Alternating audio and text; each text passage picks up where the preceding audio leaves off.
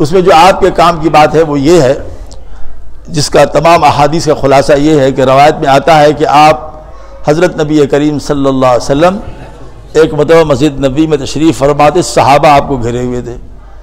एक रवायत में आता कि एक साहब आए, आप सलाम की सोहबत में बैठे तो आपने फरमाया कि क्या तुम में से किसी के अंदर सकत है इसकी कि रोज़ाना एक हज़ार आयत पढ़ लिया करे? कितना? एक हज़ार आयत पढ़ लिया करे। तो सहाबा ने कहा कि, या रसोल्ला किसके अंदर सकत है? छः हज़ार छः सौ छाछठ तो कुल कुरान की आयत ही हैं। एक हज़ार पढ़ने की किसके अंदर सकत है? तो आप अली सलाम ने फरमाया कि रोज़ाना एक मरतबा सूर्य कौशल पढ़ लिया करो, एक हज़ार आयत पढ़ने के बराबर सवाब मिलेगा। कहिए सुबहान अल्लाह। ये हमारे नबी की खास खसूसियत। क्या उम्मत को जो चीज़ दे गए, जो अल्लाह ने फ़र्ज़ कर दिया, उसका तो सवाल ही लेकिन नबी रहमत सल्लल्लाहु अलैहि वसल्लम की खास बात है आप छोटी छोटी बातें बताते थे, उसकी अजरान, अजर बहुत है। फरमाया छः हज़ार छः सौ छाछठ कुरान की आयतें हैं, उनमें छः सौ छाछठ को आप अलहदा कर दें तो छः हज़ार का छठा हिस्सा होता है एक हज़ार।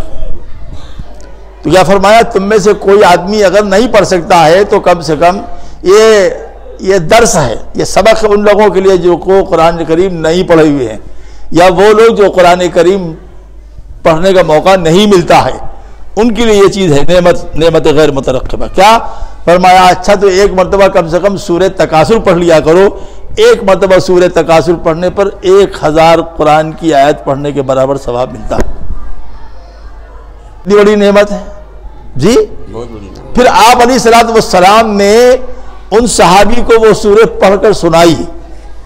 पढ़कर सुनाई।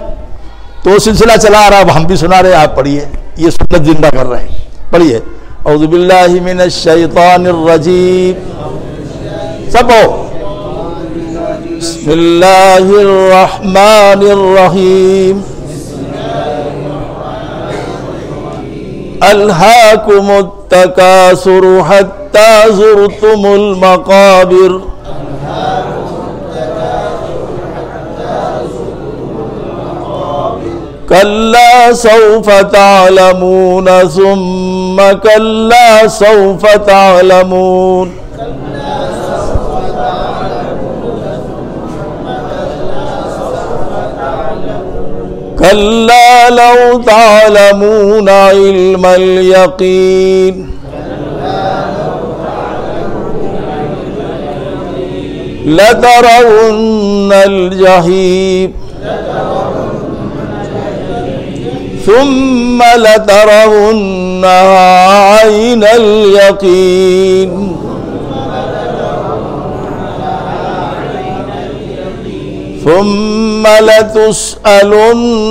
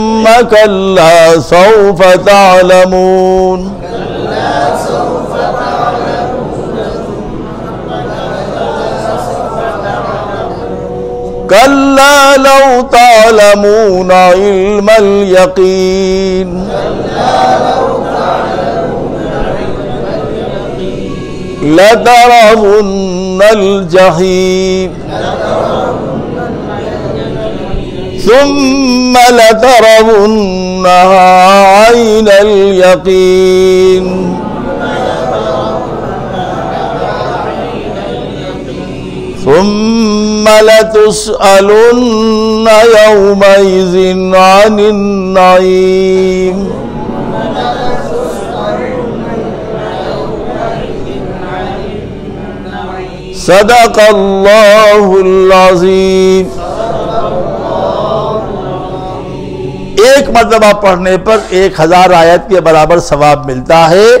आपने दो मरतबा पढ़ा तो कितना मिला भाई? बैठे बैठे जन्नत मिली कि नहीं मिली? जी। तो इरादा कर लें इंशाल्लाह हम लोग हर नमाज़ के बाद एक मरतबा पढ़ लिया करेंगे।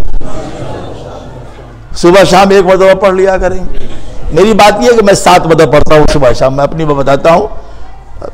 लेकिन आपसे कहता हूँ आप न पढ़े सात मरतबा कम से कम एक ही मतलब पढ़े दो मरतबा पढ़े पाँच मरतबा पढ़े सात मरतबा पढ़े। मेरा ये मामू तो दस साल से है ये सुधर पढ़ रहा हूँ अल्लाह मुतकास देख लीजिए ये बड़े में देख लीजिए।